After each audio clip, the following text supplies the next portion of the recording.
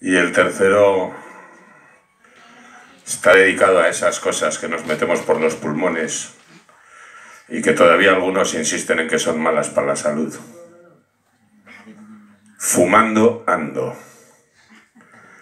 El humo me traslada a la caverna. Vuelvo a, los orígenes, cuando nos refugiábamos y prendíamos fuego a los restos resecos de la cosecha. Recuerdo aquel primer día en que un rayo prendió el cultivo y las flores del cáñamo expandieron sus aromas por el campo, desde los cerros. Siento que necesito escapar de este mundo moderno, volver la mirada a los dioses primigenios y escapar de una realidad maldita y esclava del dinero.